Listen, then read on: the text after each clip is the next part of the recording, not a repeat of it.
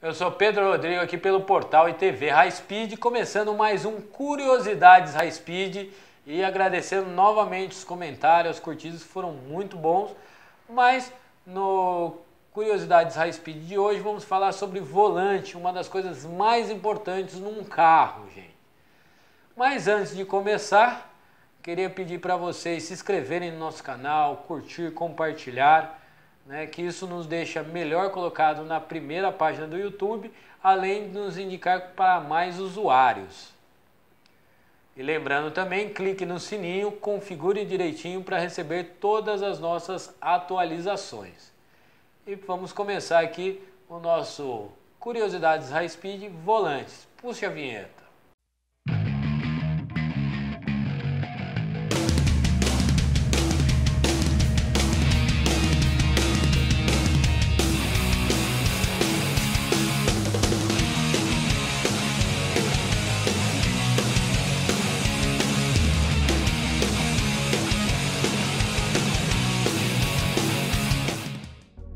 Que é o volante?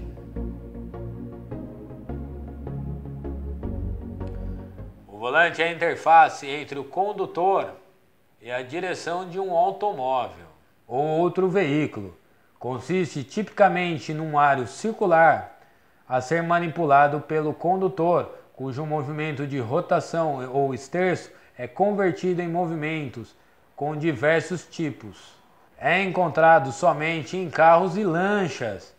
Uma embarcação menor ou média de alta velocidade pode ser encontrado em formas em um retângulo arredondado em modelos mais antigos e num formato quadrado, no qual é geralmente usado para carros de competição.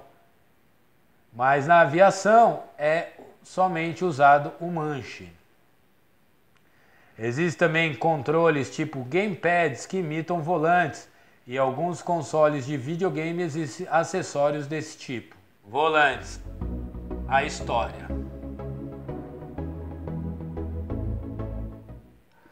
Por incrível que pareça, os primeiros veículos não continham um volante. Eles eram controlados por uma alavanca que funcionava como um leme de barco.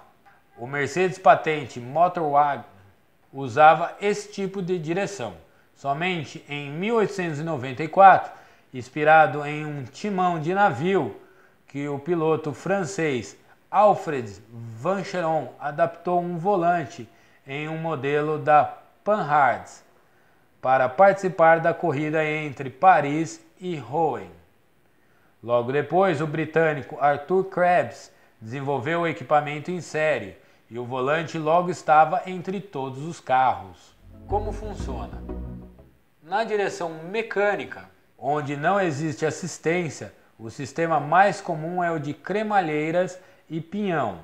Essas duas peças são fixadas em um tubo de metal com as extremidades da cremalheira saindo pela lateral desse tubo e ligada nas rodas por um terminal de direção.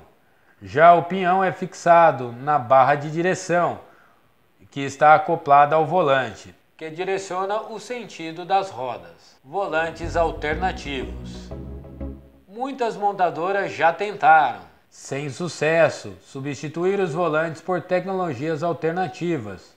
Mesmo funcionando na prática, os consumidores não se sentiam seguros com a inovação. A Ford, por exemplo, criou o Ritz Twist, dois pequenos volantes montados numa junta ligada à coluna de direção, que poderiam ser controlados apenas com um dedo. Os modelos Mercury e Thunderbirds foram usados nos testes. A GM, por sua vez, instalou puxadores em Oldsmobile de 1961, que também não cativaram o público. Na Fórmula 1, o volante da Fórmula 1 é basicamente o centro de operações do piloto. São mais de 10 botões que controlam cerca de 40 funções entre mudanças na aerodinâmica do carro, comunicação com a equipe, regulagem do motor e até mesmo água para matar sede durante a prova. O volante do Mercedes para 2019 tem um total de 25 botões e interruptores. Claro, a embreagem e as alavancas de câmbio. Cinco desses botões e interruptores mudam a configuração dos freios. O piloto pode variar a distribuição de frenagem da frente para a traseira ou vice-versa, para otimizar o equilíbrio dos freios em curvas específicas. Mudar o freio, quantidade de frenagem do motor ou ajustar a migração do freio, que é uma mudança dinâmica do equilíbrio, de acordo com a força que ele pisa no pedal. Três outros interruptores controlam o diferencial, a quantidade de transferência do torque entre as rodas traseiras para a entrada, o vértice e a saída de uma curva. O resto dos botões e interruptores tem uma variedade de propósitos diferentes, desde ajustar a configuração dos aerofólios até mudar os dados exibidos na tela, ativar o rádio ou limitador de velocidade na pista dos boxes. O sistema de redução de arrasto DRS, que terá um efeito ainda mais forte a partir desse ano, devido aos spoilers traseiros maiores, também pode ser ativado com o apertar de um botão. A importância do botão depende da situação. Se, por exemplo, um piloto não consegue ouvir bem o seu engenheiro, imediatamente o controle do volume de rádio se torna muito importante. Se perguntar a um piloto qual botão considera mais importante, ele provavelmente escolheria o interruptor Strat, pois ele tem um grande impacto no desempenho do carro. Ele controla os modos do motor e afetará tanto o desempenho do motor de combustão interna quanto a distribuição da energia elétrica do MGU-K bem como a alteração de recuperação de energia do mencionado MGUH. Como existem diferentes alocações de quilometragem para cada modo de estratégia, a fim de equilibrar o desempenho e a confiabilidade, o engenheiro de corrida geralmente dirá ao piloto qual o modo de partida que ele deve usar a qualquer momento. As funções mais usadas são a direção em si e as mudanças de marcha. Em uma volta típica de Melbourne, por exemplo, o piloto usará as alavancas de mudança cerca de 50 vezes. Os 15 indicadores de LED de mudança localizados na tela central ajudam a encontrar o ponto de mudança ideal, apesar de muitos pilotos utilizarem equipamentos de troca de avisos sonoros. Além da direção e das mudanças, um piloto de Fórmula 1 geralmente faz uma série de ajustes no equilíbrio do freio para adaptar o carro. Há vários materiais usados no volante, mas os principais são fibra de carbono, fibra de vidro, silício, titânio e cobre. Esses cinco componentes são os principais ingredientes das várias centenas de peças individuais que compõem os maiores componentes dentro de um volante de direção na Fórmula 1. A maioria desses componentes, circuitos, placas, estrutura de carbono, liberação rápida, conectores elétricos e a própria direção são montados na fábrica da Mercedes em Beckler. Apesar dos dois componentes, a tela central e a placa de circuitos subjacentes, não são integrados em Beckler, pois são partes comuns compartilhadas por todo o equipamento. Os pilotos estão muito envolvidos no processo de design do volante, porque ele deve ser adaptado às suas necessidades individuais, tanto a ergonomia do volante quanto a disposição física e garras são ajustadas às mãos, assim como a forma como ele gosta de interagir com ela. As mudanças não são feitas apenas no início da temporada.